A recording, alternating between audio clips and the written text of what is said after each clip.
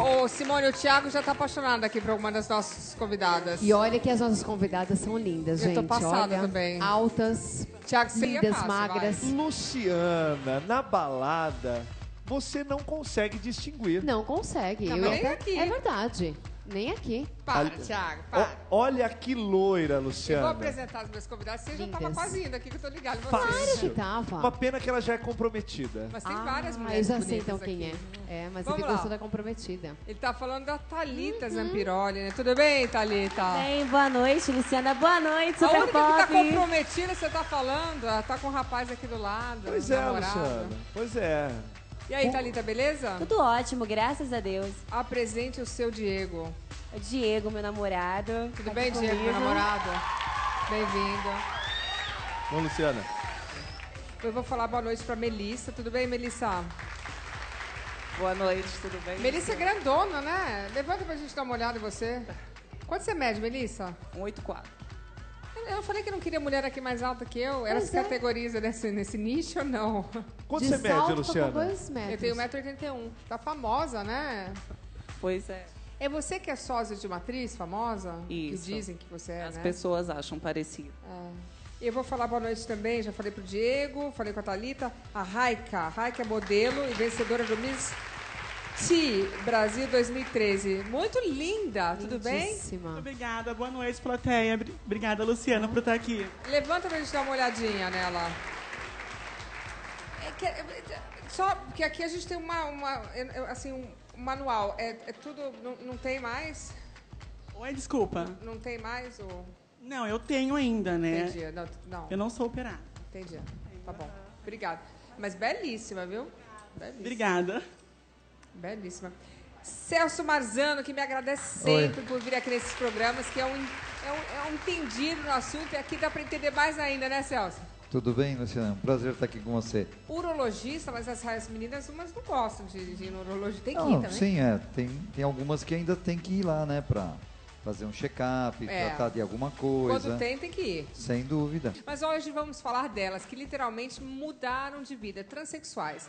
Eu estou recebendo aqui no palco três que chamam atenção por onde passam. Tem corpos de fazer inveja e deixam os marmanjos babando. E eu tenho raiva delas porque elas não têm uma coisa que chama celulite, Não né? tem, não tem nenhuma tem Se não celulite. dá. Olha. Não tem TPM aperta, não também, tem. né? Será que tem TPM? Isso é uma boa pergunta, porque às vezes elas são um pouco nervosas. Eu vou Tem rodar e de depois eu vou perguntar por médico. Será que os hormônios deixam ela com TPM? Porque o hormônio feminino é brabo. Roda aí. No Super Pop de hoje você vai conhecer as histórias de Melissa, Talita e Raika. Três garotas que ganharam destaque na mídia pela beleza e sensualidade, mas também por um outro detalhe. Elas não nasceram meninas, mas sim meninos. Parece que ela tem gogó também. Parece? Dá pra ver um levantadinho aqui assim. Eram garotos, mas perceberam que vieram ao mundo em corpos errados. Por isso passaram por uma grande transformação. Você imaginou Não, não, não parece. que um dia a Raika foi menino? Não, não. Deixaram para trás os traços masculinos e assumiram a identidade de mulher. E que mulheres, viu? Dá só uma olhada. Tu nem me olha direito, moço. Eu não olho Eu direito pra conheço. você, você é linda, maravilhosa.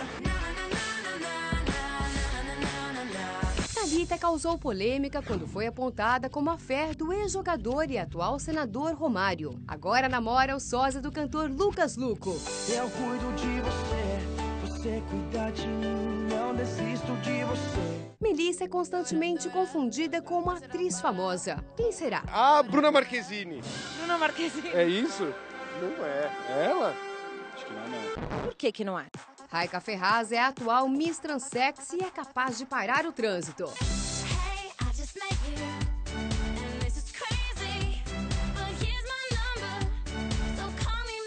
Mas será que elas estão felizes? Enfrentam preconceito no dia a dia? Vamos saber agora no palco do Super Pop.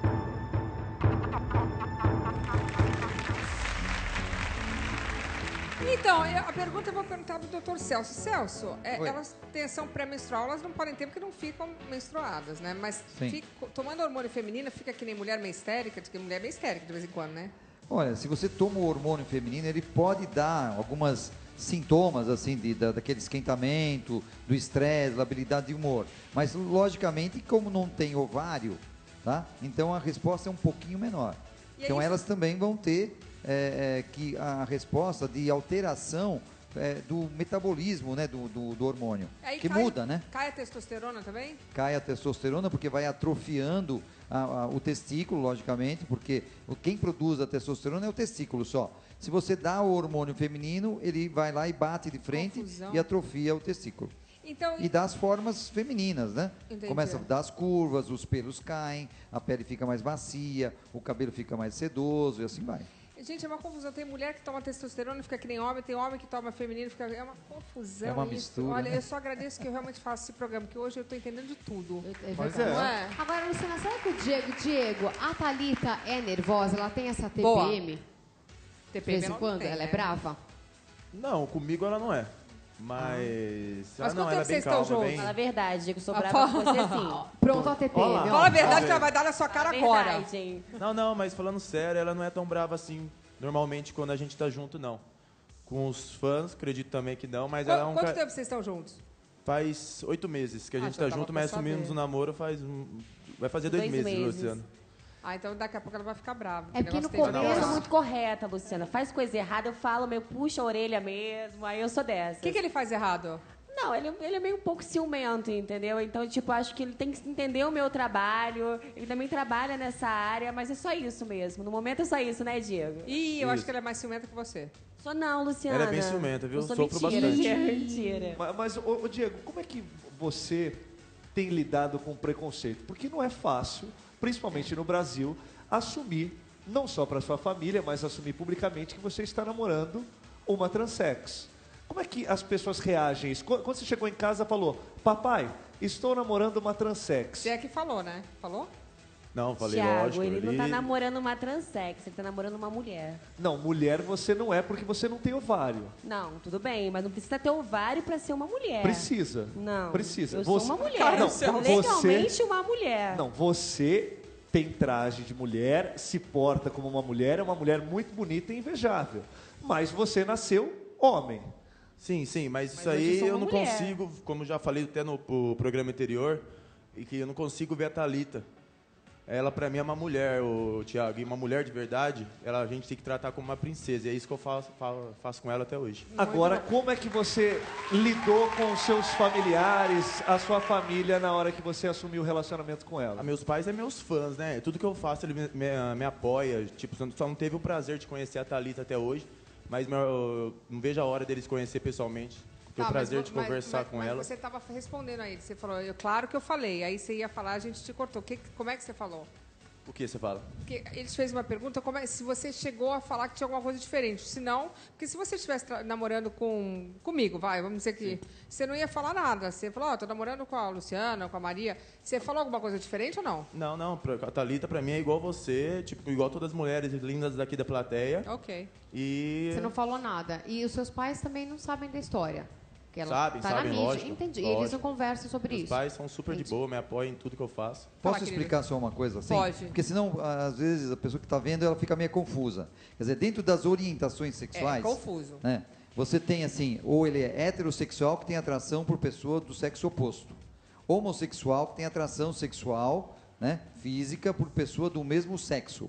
O transexual, ele tem o sexo que nasceu, mas ele se sente outro. Então o homem se sente mulher, ele não aceita o pênis, não aceita a região genital e, e a sua conduta como homem, então ele vai e opera. Certo? Tá. Agora, o travesti, não, ele não é transexual. Ele Tá. simplesmente ele tem o pênis, tem prazer com o pênis, usa o pênis para ter algum tipo de ganho, financeiro ou não, mas ele não quer operar e não vai operar. Tá. Então esses são os Mas as quatro. é o- Existem mas- outras variações mas- assim, outros é, nomes, né? Mas quem é homem nessa história, então? Tem algum homem aqui na- no palco? Não, eu acho que depende do que elas se percebem. Se, que nem, ela não foi, fez a cirurgia ainda. O Diego Mas levantou você o sente mulher. É, o você Diego, acha que é o mulher. Diego falou eu, opa! Ô, Diogo. esqueceu de mim? Diego, desculpa. O Diego Coitado assim, É, ó, Lu, esquecemos ó. de você. Ele levantou de cima Adorei, assim. Diego. Eu e Eu ele, e né? ele aqui não esqueceu. Dois. Você, você se, quer dizer, se ela ah, se acha mulher e está esperando fazer a cirurgia, então tudo bem, ela vai fazer psicoterapia, tratamento, Você se acha preparação, mulher? e aí vai- é uma transexual. Sempre. Você é moça. Quando eu acordo, quando eu vou dormir, eu sou uma mulher. Tá, porque a Thalita e o namorado foram às ruas saber o que que as pessoas pensam também de um relacionamento com uma transexual. Quero só ver, espero que o brasileiro esteja bem respeitoso, mas vamos assistir. Vamos fazer assim. Eu cuido de você, você cuida de mim. Não desisto de você e nem você de mim. Vamos até o fim.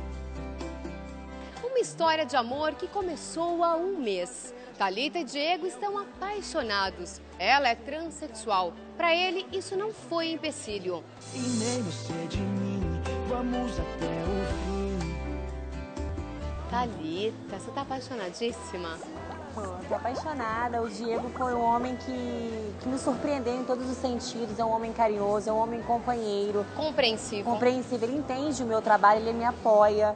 Então, o Diego apareceu na minha vida quando eu menos esperava. E no dia a dia, vocês enfrentam preconceito?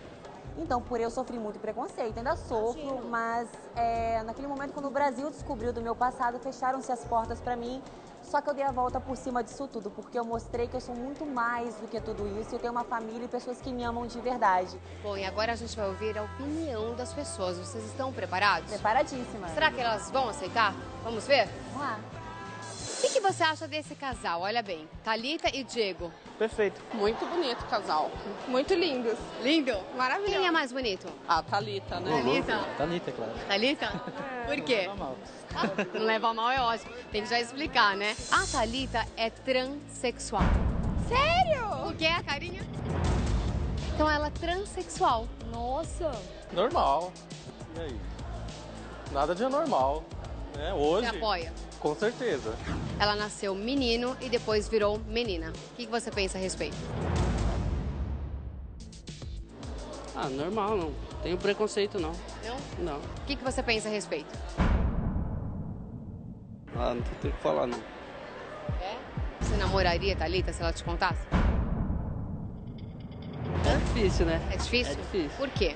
Ah, uma pessoa nasceu homem e virou mulher é meio complicado. Você namoraria? Não. Por quê? Ah, por que não? Por quê, Jailton? O Jailton tá com medo. É o preconceito? Tem um preconceitinho? Tem medo de sofrer isso perante a sociedade? Seus amigos falarem, pô, você namora uma transexual, você tem- teria vergonha disso? Queria? Pode, pode abrir o coração. Não, é porque cada um tem um gosto, né? Entendi. Seria meu gosto, seria esse. Tá bom. Ela é muito mais feminina e muito linda, mais do que muitas mulheres por aí. Porque muitas mulheres não são tão mulheres quanto ela, né? Isso não desmerece em nada ninguém. Então, hoje, pro, pro Brasil todo me conhecer, Claro, saber da minha claro. história de vida, tudo que eu alcancei, que eu quebrei o preconceito, que preconceito pra mim é uma claro. coisa mínima, que eu piso em cima. Tá certíssima. As pessoas veem, tipo, quando me vê pessoalmente, não acredita, não consegue Não, imaginar não que um dia eu fui menino e hoje eu me tornei essa mulher. Muito mulher, viu? E eu não consigo ver a Thalita aproveitando como transexual, melhor falando. Eu vejo ela como uma mulher com muito valor. Eu acredito que cada dia que passa eu consigo dar mais valor nela. Olha, a Thalita só está sendo elogiada hoje aqui. Não parece, se olhando assim, ela é linda, parece uma mulher, não, não dá pra imaginar, mesmo se não conhecesse, que se você não falasse que, que era um homem, né?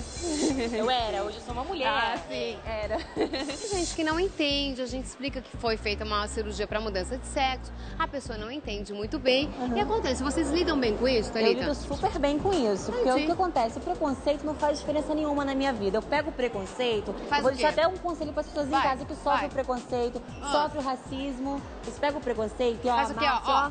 pisa Vamos, em cima, então, porque peraí, nós- peraí. Não, vamos, vamos encerrar assim. Nós vamos pegar Vamos os três, vai, Vamos vai. pegar, a gente pega Pegar o os três, preconceito, vai, vai, ó. puxa, pisa em cima e mostra que nós somos melhor do que ele.